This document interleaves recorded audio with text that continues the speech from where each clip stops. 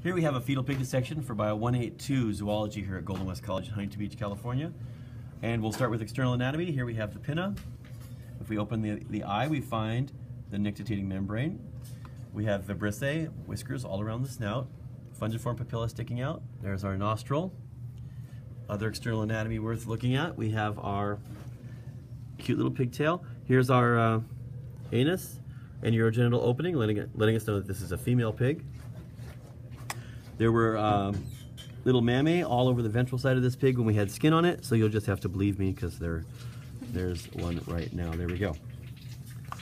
Switching over to the muscles, we'll find ourselves with the triceps brachii here. Latissimus dorsi is roughly found in this area here. We have the deltoid here.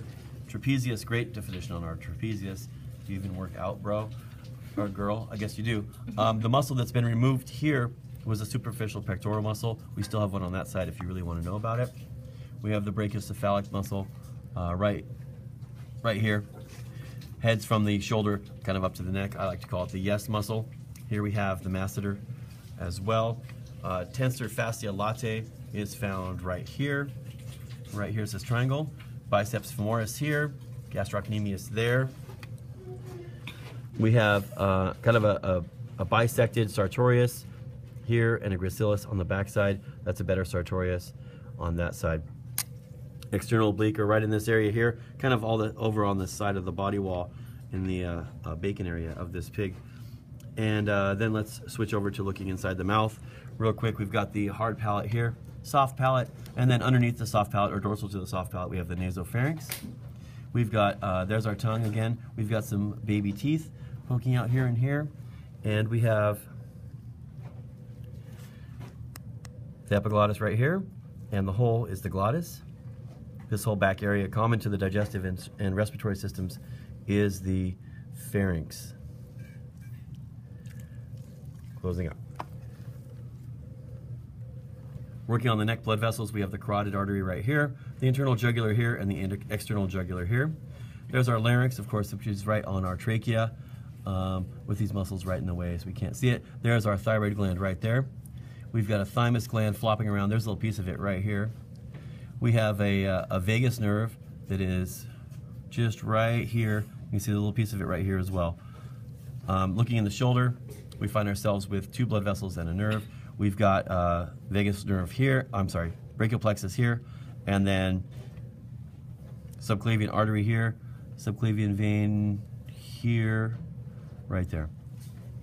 And then we'll open up the body. The Of course, the heart has been removed for your protection. Uh, these are uh, intercostal arteries are the red lines right here. We have a piece of the lung right there. The membrane on the inside is the parietal pleura, and then we have the visceral pleura over the surface of the lungs. Moving farther back, we have a diaphragm, and then we go posterior to the diaphragm and we find a giant liver, and then connected, kind of going through the liver is the umbilical vein. The umbilical arteries are found here, all headed to the umbilical cord here. If we look underneath the liver, we find a gallbladder there it is right there. This is a poorly defined gallbladder. And then we have a stomach, which is largely deflated. Uh, pyloric valve right after that, right here, pyloric valve, and leading to the duodenum, right here. There's a pancreas hiding underneath the stomach. There's our pancreas. There's our pancreas. And then this is uh, most of what I'm holding here is small intestine. See where you can see small intestine. And then we have this membrane, which is the mesentery, takes blood vessels to the small intestine.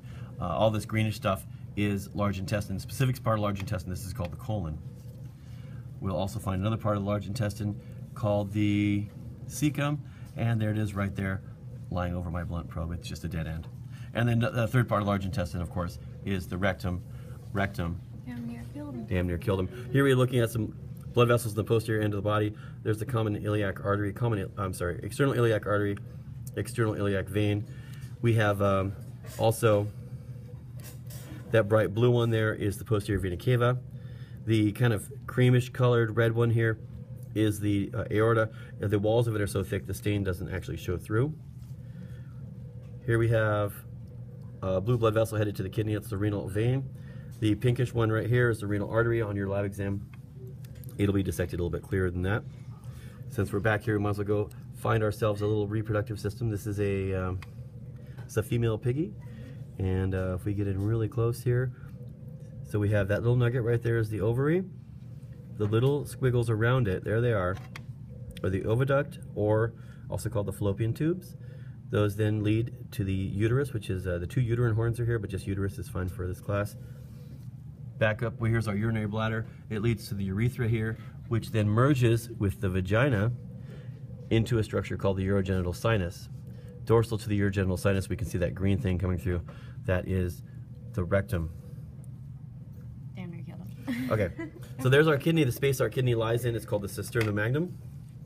And uh, we'll go back over here to the heart. Don't forget the mail. I will.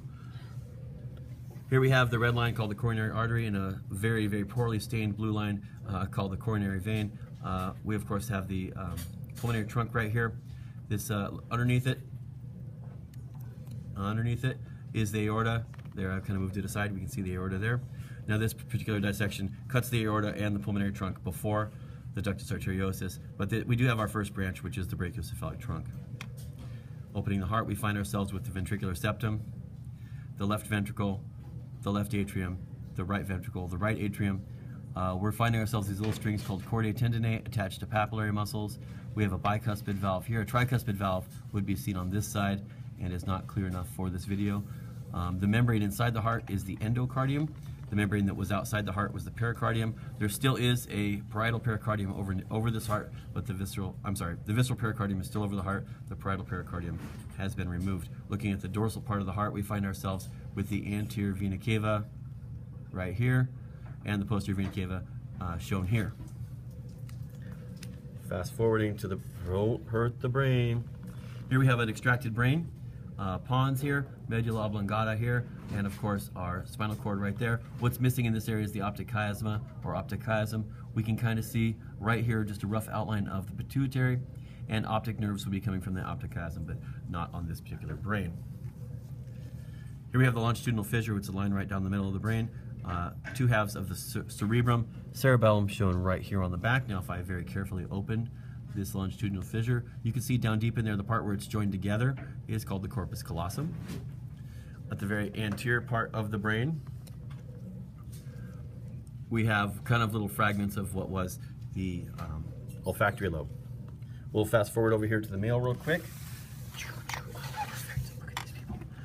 And here's the male. Uh, we can tell it's a male. Here's our spermatic artery. The spermatic vein was not shown on this one for some reason.